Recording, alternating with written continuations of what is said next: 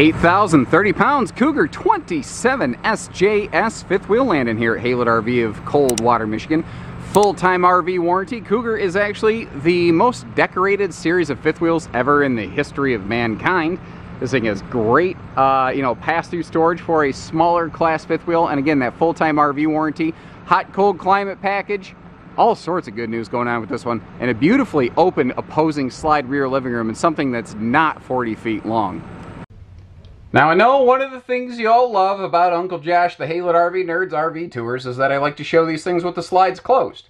Even when it's not seemingly attractive to the RV. We give you straight info.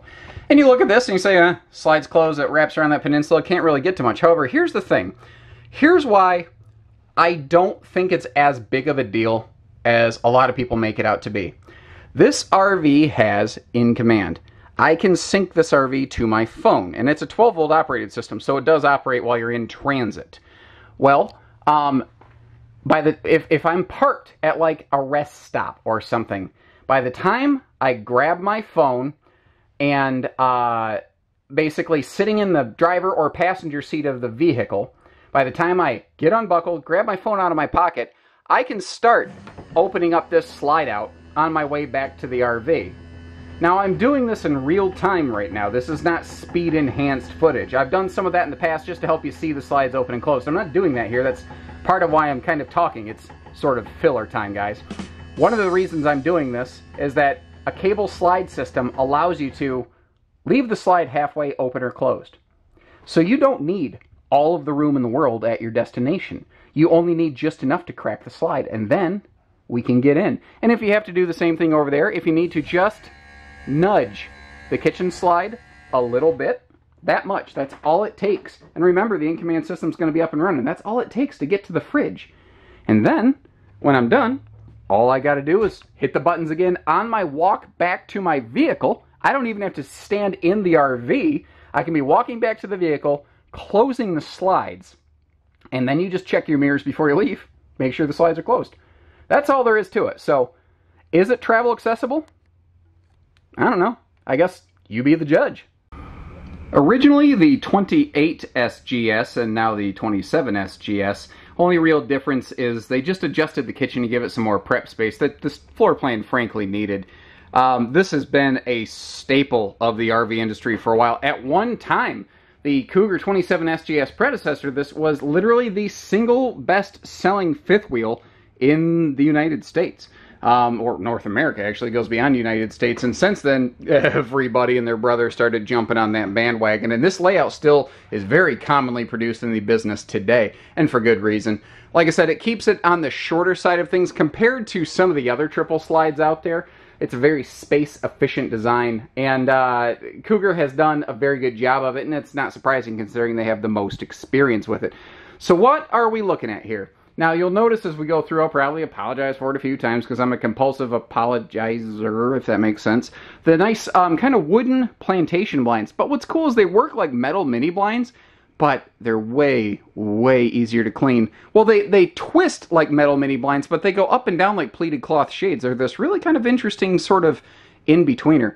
And storage above the seating, take note of that take serious note of that. Above the rear chairs and above the sofa, so many RV manufacturers have stopped building storage above seating areas with the idea of, oh, it'll look bigger. Sure, but where are you going to keep your stuff? And again, maybe just that experience in a Cougar goes a little bit further.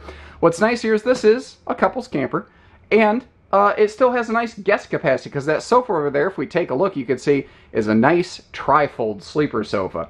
So if we do have a guest, either a little one or a big one, I suppose, or a big pair, because my wife and I have actually spent a weekend on one of those together successfully, stayed married, so I think that passes. it, it works. Now, what's also kind of cool, this has classic rear recliners, and you don't see this very much anymore. And it allows this floor plan to do something most just can't. Rear sofa models can't do what I'm about to show you. Because this seating arrangement, which isn't found very often in the RV industry more, allows for some interesting seating solutions. So if you're parked like by a lake or you have basically if you have cool scenic views at your site, there's nothing stopping you from flipping these chairs around, grabbing your favorite drink, sitting next to the person that you enjoy spending the most time with, and taking a peek out the back side here. And again, you know, you have good wraparound viewing windows all over the place, and it just creates some unique opportunities. Now, your side stands over here, you can see have household and USB plugs on both sides. It's actually a really interesting thing about Cougar's construction.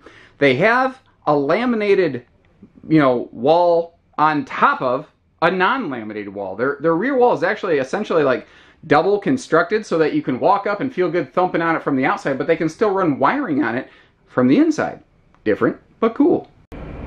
Although this is the odds-on favorite and how you're probably going to have this one arranged most of the time. These nice pushback recliners, though, do allow you some options there. Or you can just pull them right out of the way if you need place for like a dog bed. I guess that actually would work really well. Now next to that we have our dining setup and again everything's surrounded by windows. I just unfortunately have to have the shades drawn because the sunshine is not a digital camera's friend. But one of the things that I kind of thought about, and I've never displayed one like this before, is at the end of the day, this is primarily a couples use RV. So most of the time, you don't need all those chairs.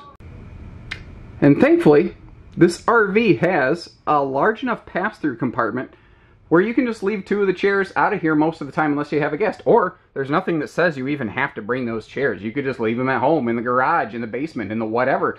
I've seen people keep two of the chairs out of the RV until the point that they actually trade it in 10, 12 years later. I don't expect this to actually be a floor plan that is much different than that. Um, now, uh, if you take a look at, like I said, if you notice there's plenty of room in that pass-through compartment, I, I captured a quick little glance with those two other chairs in the pass-through, and I didn't even shove them all the way to the other side. I left them in the middle, so you get a very realistic idea of the fact that you can leave them in there and still have plenty of storage capacity. Now, the entertainment on this is easy to see. This is not a neck wrecker entertainment center because that big 4K massive, like 40-inch HD TV, you can see pivots right out. You want to face dead toward the recliners or the uh, uh, basically the entire rear wall or the sofa or the kitchen. Like if you want to put the two dining chairs both on the right hand side of the table as we're looking at it, so that even when you're sitting there grabbing a bite to eat, sitting next to one another, well, you know, you still have a good shot at what's going on. Electric space heating fireplace right below that, and those things do a wonderful job of taking the nip out of the air. Um, you know, so that you don't have to constantly uh, run the furnace. If it's just spring or fall, you th those those electric fireplaces do an amazing job. Now, what's also nice is, like I said, the biggest difference between the previous 27 SGS and this 28 SGS is what they did in the kitchen.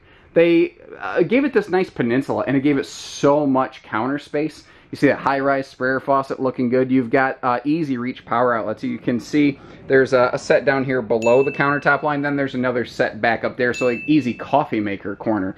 Um, stainless sink recessed down into a sealed edge press membrane countertop, so you don't got to worry about water wrecking countertops over time.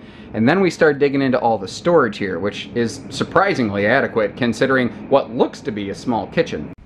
And it begins right here with a pair of handy big kitchen drawers, excellent size for like larger spatulas and tongs, and that is a larger 22 inch oven, by the way. Little details like that, extra drawers, slightly larger oven, that's the stuff that adds up the pennies and dollars and cents that helps kind of you know, determine the price points between trailer A and trailer B because a lot of them are very similar on the main features, but it's those fine details that help separate brands like Cougar.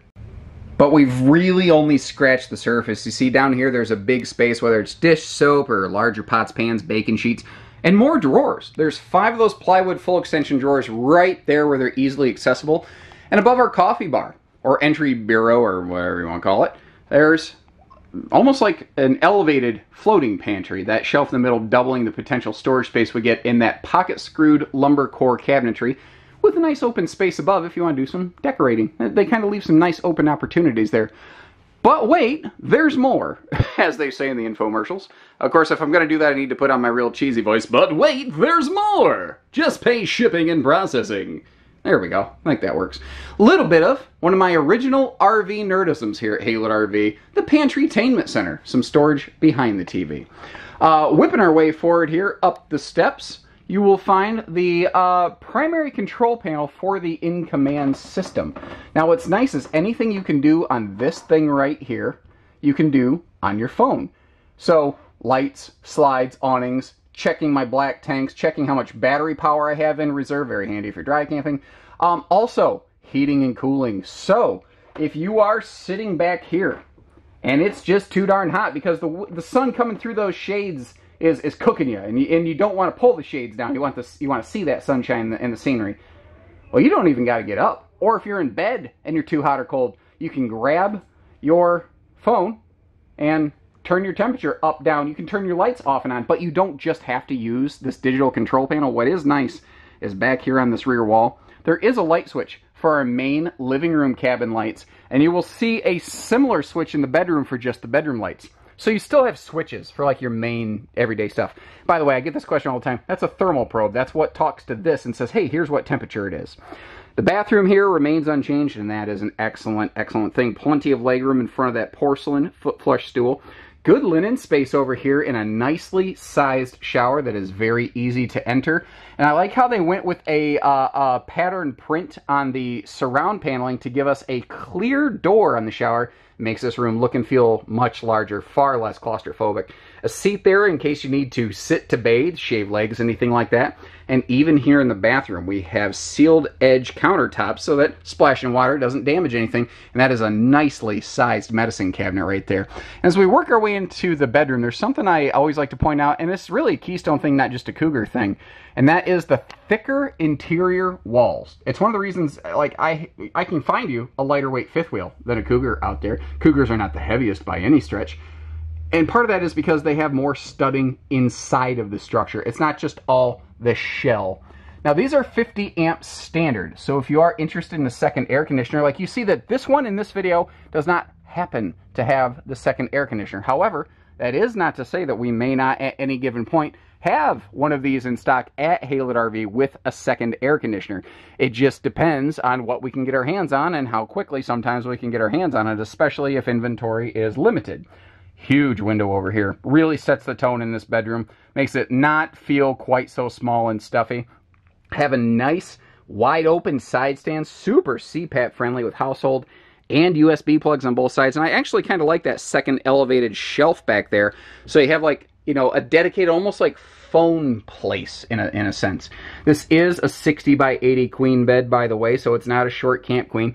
And if you notice, this is something they did about September of 2019. There's virtually no step up around the bed anymore. And me at six foot three, standing at the foot of the bed, I am not even coming close. It's six and a half foot tall in the upper deck until it begins to taper. But by the time it begins to taper, you're already climbing in bed, so I don't think it's really that much of an issue.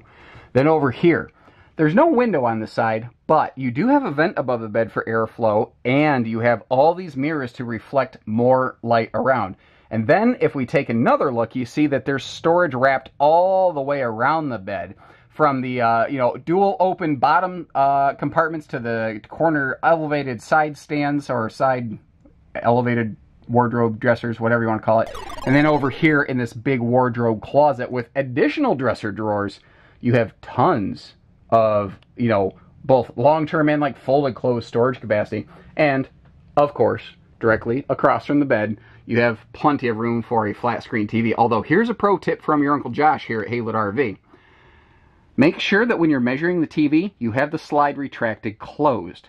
Because if you look, you're like, sweet Martha, look at this thing right here. Martha apparently is the name of both Batman and Superman's mom, which is why they didn't fight in that movie. Whatever. Um, you can tell I'm not bitter about it, but toxic nerddom. But my point is, you're going to look at this and say, holy crap, we could put a, a, monster TV up here. Well, you can still put a very good size screen if you're so inclined. Just maybe not as large as the current appearance suggests. We'll always give you that straight info here at Haylett RV. I thought I'd start outside with a nice look at the patio shade we're getting from that power awning with LED lighting, which is potentially remote controllable from your phone via that in-command system. And as we work our way past that six and a half foot tall entry door, which is nice, it's a little bit taller than the average bear in this category, although some nice things like Eagles do the same thing. We see those MORryde stable steps, but then we come over here into an impressively sized pass-through compartment, and you can see that big black box. That is the in-command system that we've been talking about. Now this thing is kind of like my wife. It is the brains of the operation. It is the thing that keeps everything kind of held together and everything goes through that. Um, what's kind of nice about this is that there's actually a little switch inside here where let's say you don't want to go inside, you don't want to activate the touchscreen to close the awning, you don't want to use your remote control phone option on that, there's still a switch right in here. You can still handle awning, jack, slides right from outside. Kind of handy. Uh, motion sense lighting, kind of like we saw inside, very handy in a pass-through like this so that you can just leave it on. It will kick on when you open the baggage door.